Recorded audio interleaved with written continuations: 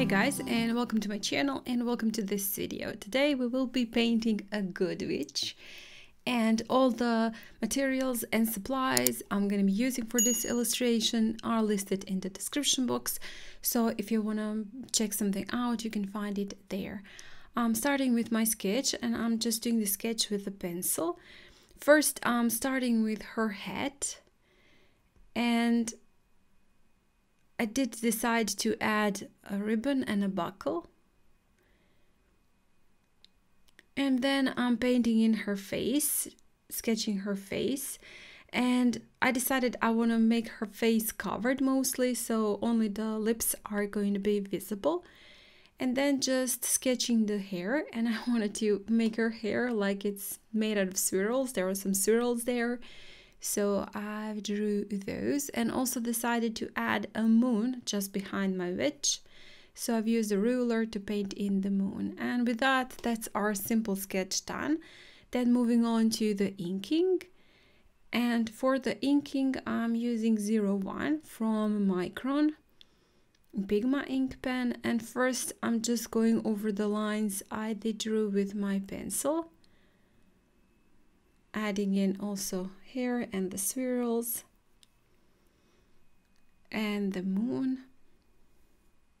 And later on I will be adding more details just some shading and hatching cross hatching where I think those creases are and some shadows are. Just also making some lines a little bit thicker. Adding some creases to the hat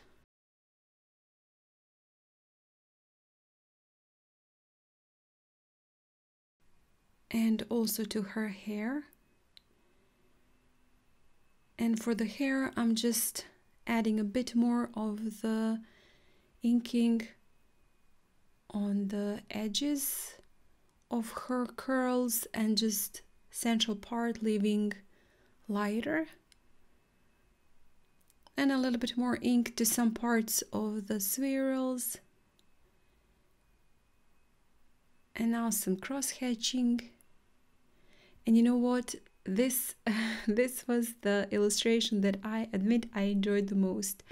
I so loved it and I had so much fun. I just wanted to mess with her and just just forever. But I was liking the sketch and the illustration so much that I didn't want to ruin it.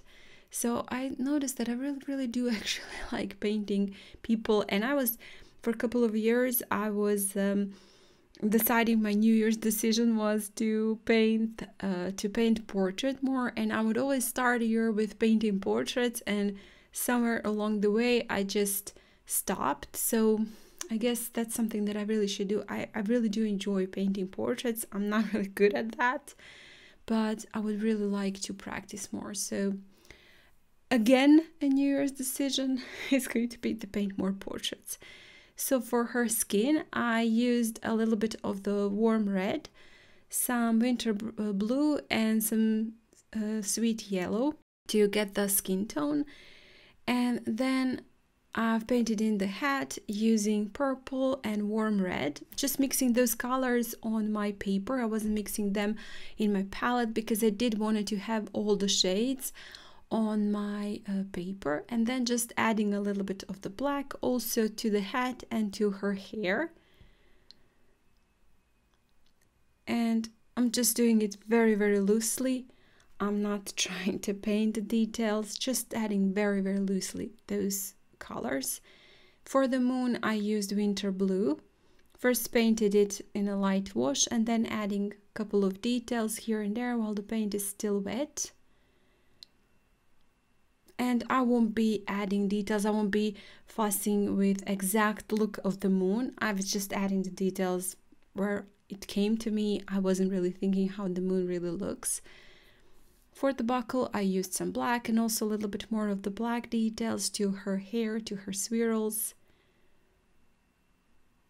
just to make some part stand out a little bit more. For her lips I used warm red and again, I wasn't really trying to paint in the detailed lips. That's just illustration, so it doesn't have to be detailed. Some black splatters.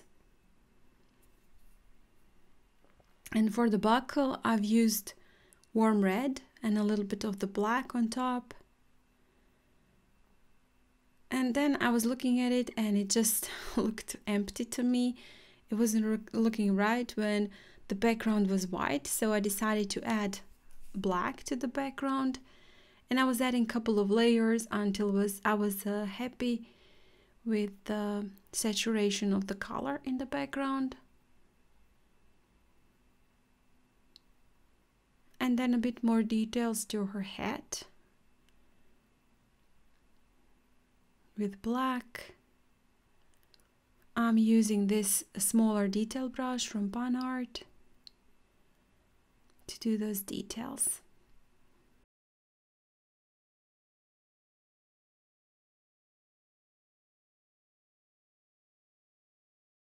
And a bit more details to the moon also using same winter blue mixed in with a tiny tiny bit of the black and at the end I decided I want to add a bit more of the violet on top of the hat just to make it slightly more shiny I guess and then some black splatters some white splatters and when it all dried I decided to add a little bit more of the detail some highlights with white Posca pen this is a fine tip Posca pen and with that I'll be finishing off this illustration and this video. Hopefully guys you enjoyed it just maybe as half as I did. I, I really did love this illustration my favorite by far. So hopefully you enjoyed it also if you did please hit the like button share it comment if you haven't still please do subscribe to my channel I'm sure you will find something for yourself there are over 400 tutorials there by now and all the real-time tutorials for the Inktober are available for my channel members, so it's not too late. You can still join in and follow and paint with me in real time. So if you want to find out a little bit more about the membership, there is a link in the description box. And again, guys, thank you so much for watching and I hope I'll see you tomorrow. Bye!